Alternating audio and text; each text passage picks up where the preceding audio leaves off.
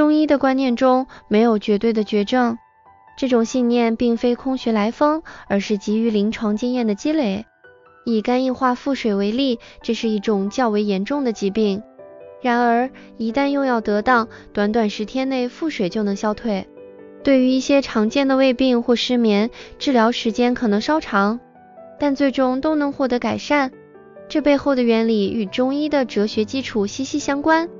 从哲学角度看，人类并没有真正可以治愈疾病的药，就像我们制造了一台电脑或洗衣机后，可以维修它们一样。然而，人类作为天地间的一部分，是最精密的仪器，我们永远无法像修理机器那样修理自己。这需要与天地同等的智慧，这是我们目前所无法企及的。那么，医学的本质是什么呢？首先，我们来看看西医。西医一直在寻找治疗疾病的药物，但事实上，真的存在治疗疾病的特效药吗？以感冒为例，大家都知道抗生素并不是感冒的特效药。在国外，医生如果随意开抗生素，可能会面临吊销执照的处罚。这就引发了一个问题：既然抗生素不是感冒的特效药，那么感冒的特效药在哪里呢？答案是西医界没有找到。这意味着，如果感冒没有特效药，那么其他疾病自然也不存在特效药。例如糖尿病和高血压患者需要终身服药，这些药物控制着血糖和血压，但不能治愈疾病。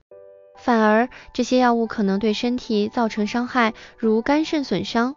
当疾病恶化时，手术成为另一种选择，但这涉及到器官移植后的排异反应，因为人体会对非自身的器官产生排斥。这种治疗追求的是五年存活期，即患者如果能存活五年就算治愈。在中医领域，是否真的存在能够治愈疾病的药呢？答案或许会让你大吃一惊。事实上，能够真正对抗疾病的。并非那些琳琅满目的中药，而是人体自身的免疫力。我们的免疫系统基因链就像一把锐利的剑，足以应对已知的一切疾病。你是否知道，许多人在面对艾滋病这种看似无解的疾病时，他们的免疫力足够强大，能够抵抗病毒十几二十年而不发病？甚至有一些人，他们的免疫力超乎寻常，竟然能够终生不受艾滋病病毒的侵袭。而对于癌症、非典等疾病，人体自愈的案例更是数不胜数。回想当年非典疫情肆虐的时候，西医似乎束手无策，抗生素无济于事，大量的激素虽然暂时抑制了病情，但给幸存者带来了股骨头坏死、肺纤维化等严重的后遗症。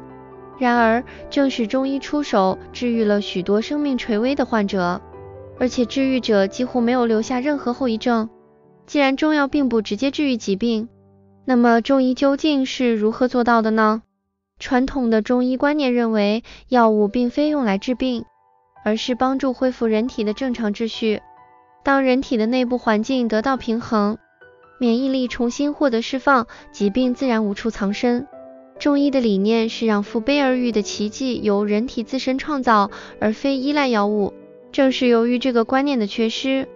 后世中医逐渐偏向了以药治病，背离了中医的核心理念。人体免疫力不分大小病，它对所有疾病都是一视同仁的。炎症在皮肤上或许无足轻重，但在肾上就成了大病。但对于人体免疫力来说，并无区别。黄斑病在西医眼中几乎是无法治愈的眼部癌症，但在中医看来，只要恢复身体内部的平衡。即使是所谓的绝症，也能轻易治愈。我们需要重新认识人体，重新理解疾病的规律。事实上，几千年前，我们的祖先就已经有了这样的认识和方法。